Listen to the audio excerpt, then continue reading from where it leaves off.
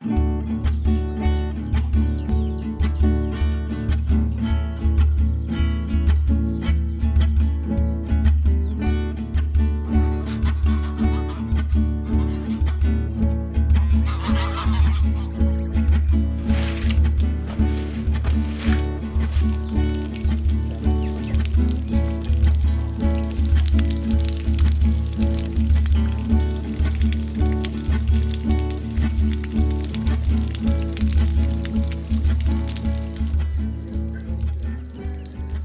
que el sistema era que los corrales se cerraba, como le decía, que se le hacía una, como una tranquera, una compuerta también del mismo tejido, y eso se levantaba cuando había las mareas altas, que se le llama, cuando crece harto y cuando baja harto. ¿Por qué? Porque el pescado ahora sube y pasa en las costas y después va bajando lentamente, y cuando ya ve que el corral está, está ya, que no pueden pasar, entonces buscan más a la Honduras y en Honduras para que salgan estaba cerrado la tranquera, así que no podían salir. Y ahí quedaban atrapados. En veces también quedaba jureles. O quedaba el pescado que nosotros decimos la anchoveta, no sé cómo se llama ese. Que es un pescado que cuando toca suelo se cae. Es de colita partida, más o menos pesa de sus 5 kilos, 6 kilos ese pez. Parece que ahora lo faenan eso. Parece que lo crecen también en jaulas. Parece mucho. Es un pescado muy rico también. Tiene escamas grandes también. Muy- ¿y qué pasó con los corrales?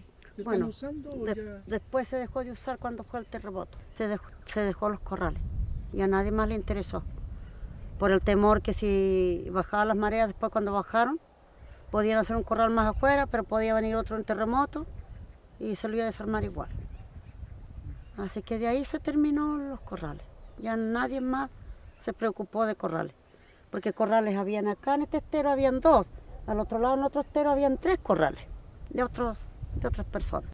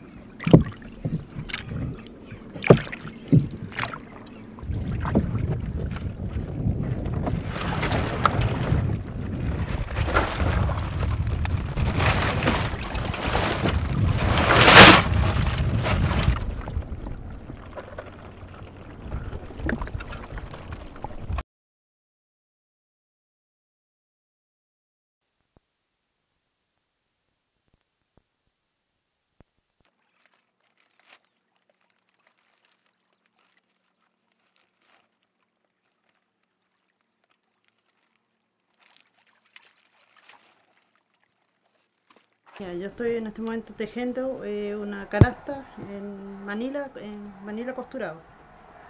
Esta es una canasta que va a tener unos 80 centímetros para guardar este cosa adentro, puede ser con tapa y orejita. ¿Con qué material lo está haciendo? Con Manila seca. Sí. ¿Esa de dónde la sacas, la manila? Ah, este lo saco acá en, acá en el sector ahí, Manila, donde se hace la cestería. ¿Y cómo es eso? ¿Usted la va a buscar? Sí, esto se corta generalmente en, en la mengua y se, después se, se parte y se deja secar. Hasta que está seca se puede trabajar.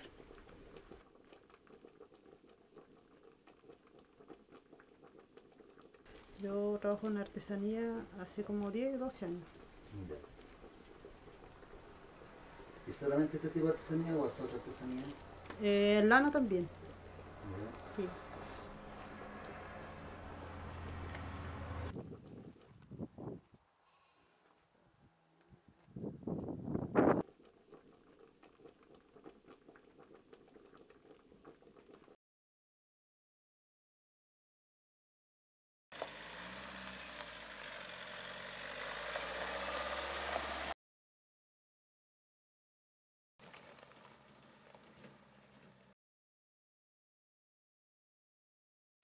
En este momento estamos en el Fundo Cateado, donde se está haciendo el proyecto eólico.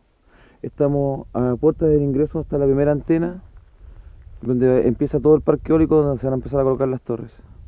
El proyecto consiste en dos etapas. La primera etapa son 25 torres y posteriormente son 25 torres más. En total serían 50 torres de energía eólica.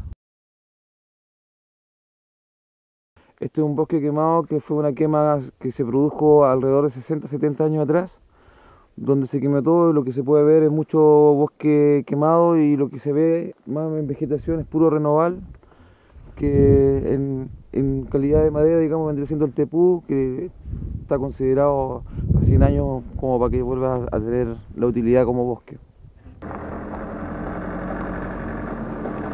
Bueno, ahora nos encontramos entre medio de las dos alturas, en lugares específicos donde van a estar las torres de eólicas. Y aquí podemos ver el tipo de naturaleza que hay, que no hay nada de naturaleza en realidad, y todo lo que se ve es árbol muerto de las quemas que se produjeron hace 60, 70 años. Pues, estos son los lugares que están elegidos para colocar las torres para que no haya un impacto ambiental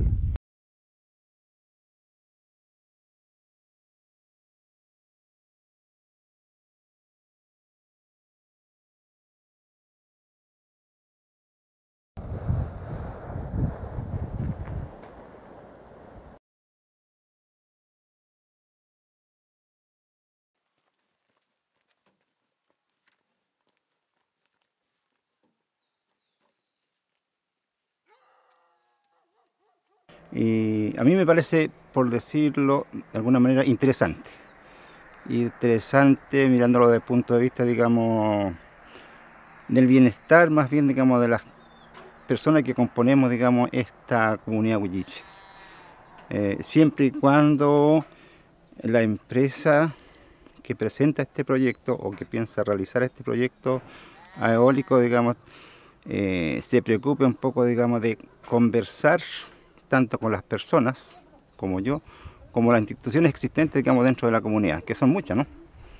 Mm, hay centros de padres del colegio, hay, hay, como dos colegios dentro de la comunidad, hay juntas de vecinos, hay clubes deportivos, eh, centros de salud, una serie, como digo, de instituciones que componemos, digamos, esta comunidad. Aquí tiene que existir responsabilidad por ambas partes, tanto, digamos,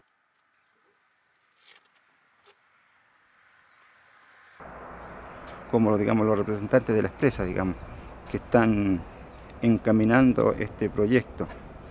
Eh, eso significa, digamos, conversar bastante, en lo posible llegar a un entendimiento, pero un entendimiento concreto. concreto. Muchas veces, digamos, ocurre que las empresas ofrecen mucho, pero cuando ya están instalados cualquiera sea, digamos, el tipo de empresa, después como que se olvidan, digamos, de lo que se ha conversado, ¿no? Entonces ese yo creo que para muchos es como una especie de temor. Esperemos que eso no ocurra, que lo que se converse, que lo, que, lo que se acuerde, digamos, con el correr de los tiempos, digamos, se cumpla nomás. Hablando de beneficios.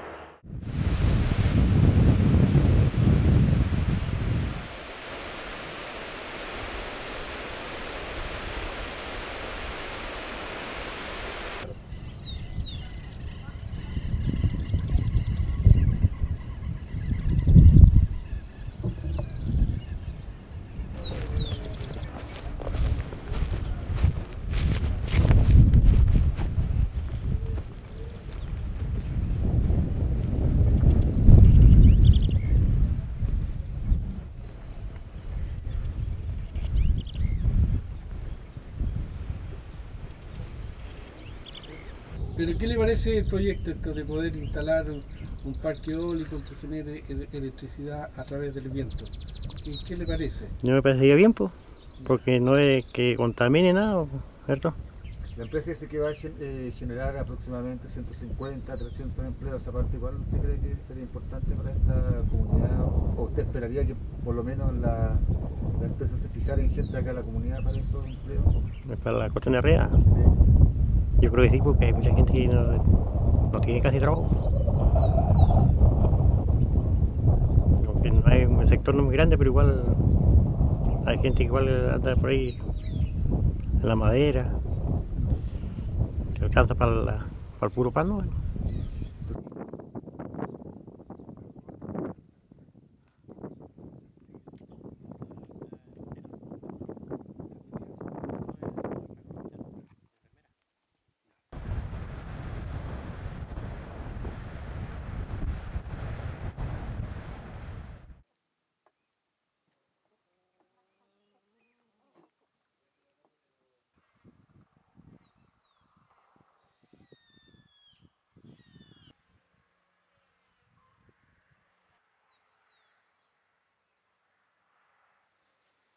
Aquí nosotros estamos pidiendo que nos devuelva lo que por años ha sido nuestro. Esa es la propuesta que tenemos nosotros como comunidad. Sí, nosotros estamos de acuerdo. sí. Creo que ustedes ya, los que han estado haciendo trabajo aquí, saben de que nosotros hemos estado de acuerdo, porque esto se trata de una energía limpia. Y además hay algunas personas que, de la comunidad que tuvieron la posibilidad de ir al, al otro parque que tiene el, que es la misma empresa, ¿verdad? Eh, y ellos presenciaron de que no es ese bullicio terrible como muchos dijeron.